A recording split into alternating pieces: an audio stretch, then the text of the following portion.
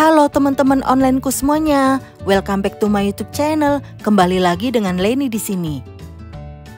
Buat yang baru mampir di channelku ini dan belum subscribe, ayo subscribe dulu dan diaktifkan juga tombol loncengnya. Biar selanjutnya kalian gak akan ketinggalan video-video terbaru dari aku. Dan jangan lupa untuk like dan komennya juga. Terima kasih.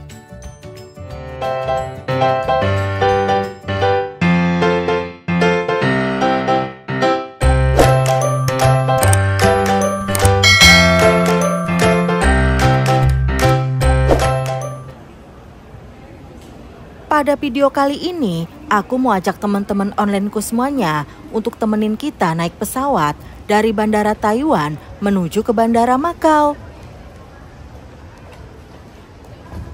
Nah ini kita masih berada di Bandara Taiwan. Ini kita lagi jalan menuju boarding gate pesawat. Perjalanan kali ini kita akan menuju ke negara Makau menggunakan pesawat Starlux dengan nomor penerbangan CX205.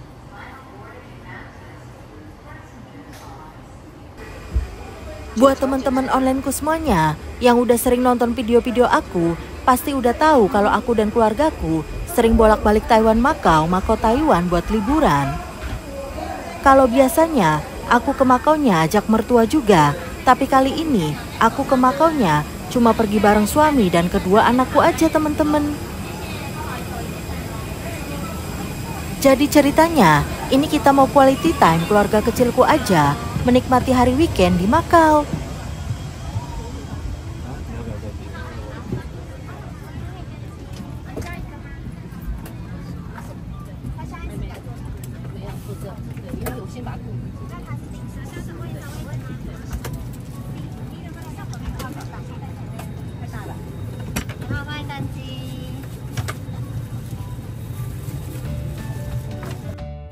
Pesawat yang kita naiki ini seharusnya udah berangkat dari jam setengah lima sore tadi. Tapi ini kita baru take off dari Bandara Taiwan jam 5 sore. Jadi pesawat yang ini delay setengah jaman teman-teman. Dan sekarang kita akan take off terbang menuju ke negara Makau. Nah karena ini kita terbang udah jam 5 sore, jadi sunsetnya juga udah kelihatan nih teman-teman.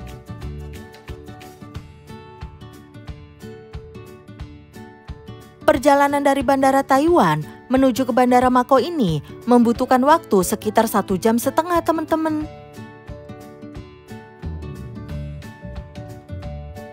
Bismillahirrohmanirrohim, semoga perjalanan kita menuju ke negara Makau selamat sampai tujuan.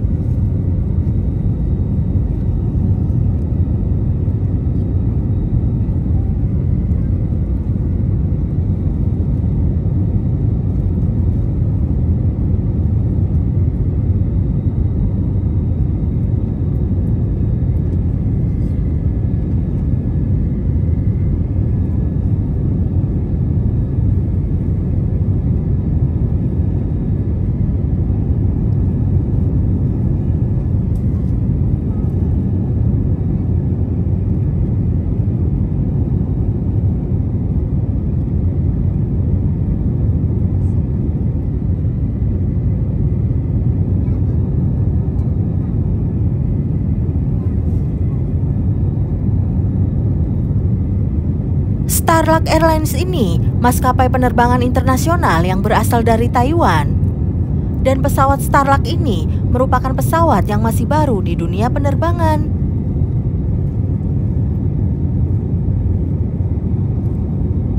Pesawat Starluck ini juga merupakan maskapai yang full service.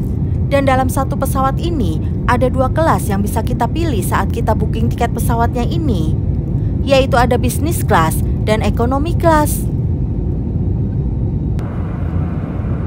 Nah ini kita pilih yang economy classnya teman-teman.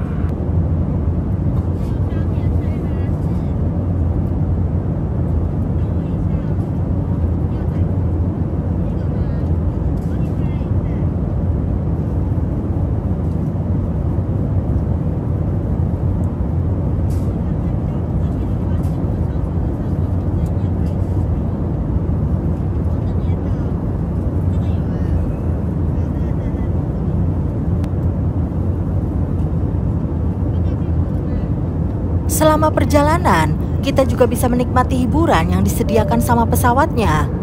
Kita bisa menonton TV yang ada di bangku pesawatnya ini. Ada banyak tontonan yang bisa kita pilih. Kita bisa nonton film, dan filmnya ini ada banyak pilihannya. Kita tinggal pilih aja mau nonton film yang mana.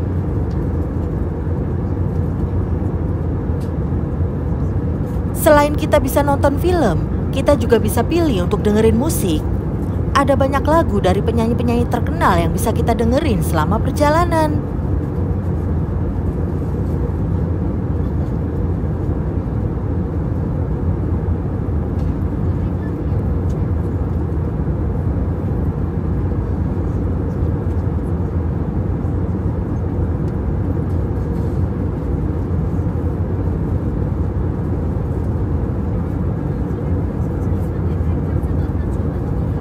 Untuk yang bawa anak-anak, anak-anak tetap bisa menikmati hiburan selama di dalam pesawat. Karena ada banyak tontonan seperti film-film kartun dan TV show yang khusus buat anak-anak.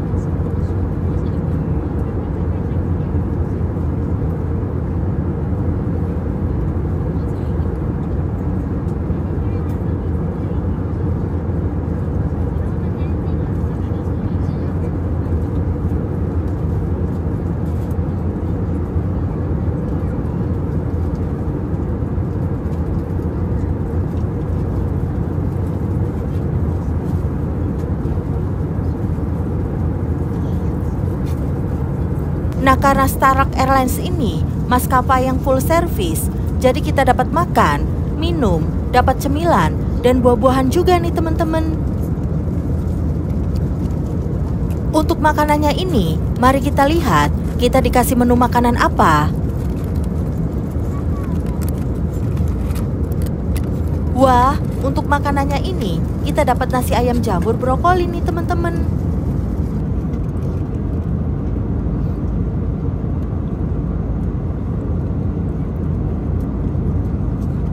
Dan menurut aku, ini menu makanannya lumayan enak.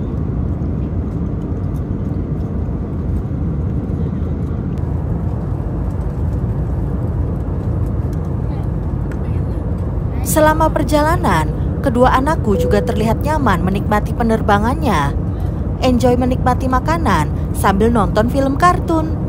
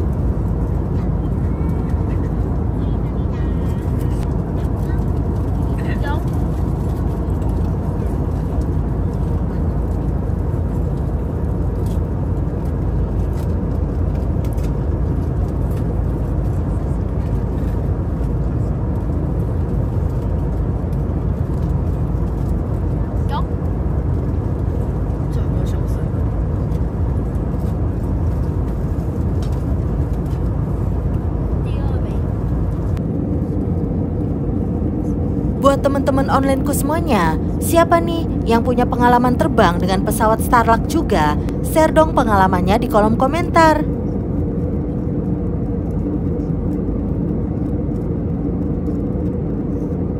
Seperti inilah penampakan awan yang aku lihat dari dalam jendela pesawat. Awannya indah banget, seperti gumpalan kapas.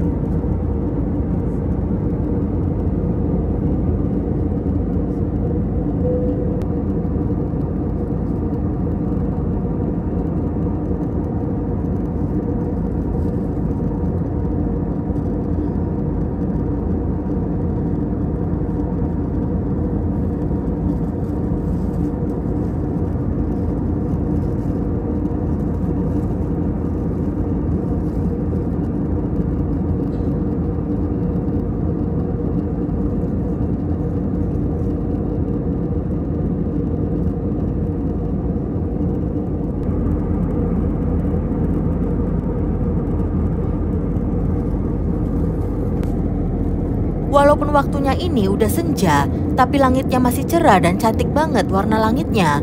Perpaduan warna biru dan jingga.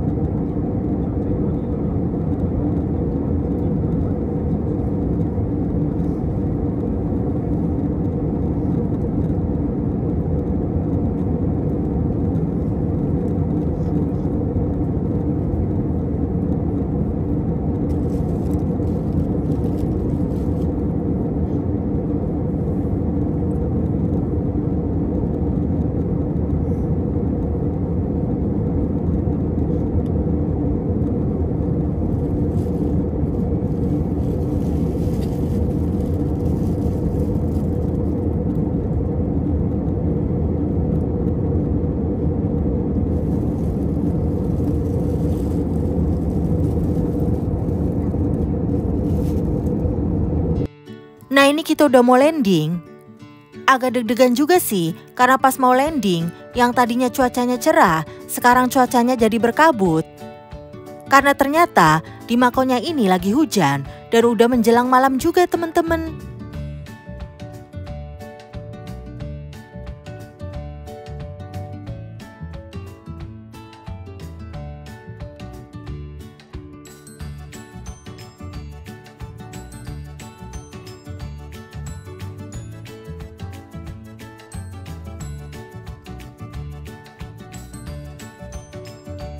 Akhirnya, pemandangan negara Makonya udah kelihatan nih teman-teman. Nama Mako sendiri bukan cuma menjadi nama negaranya aja, tapi menjadi nama ibu kota juga.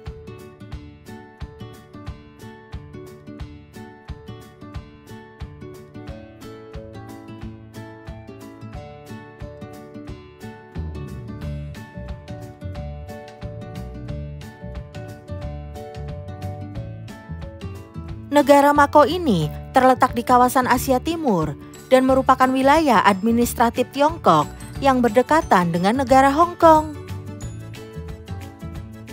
Jadi jarak dari Mako ke Hong Kong ini deket banget. Perjalanannya cuma sekitar 45 menitan aja. Bisa ditempuh dengan naik kapal feri ataupun dengan naik bus teman-teman.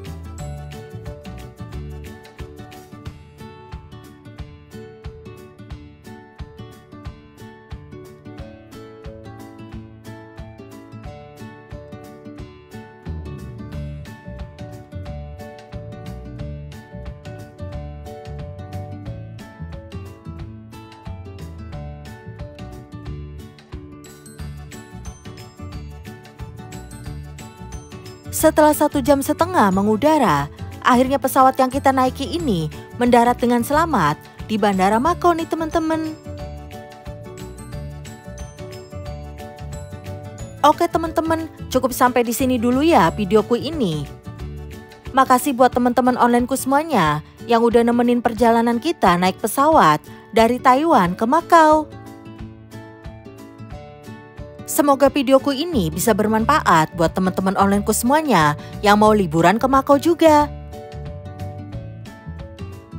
Thanks for watching. See you on the next video. Bye-bye.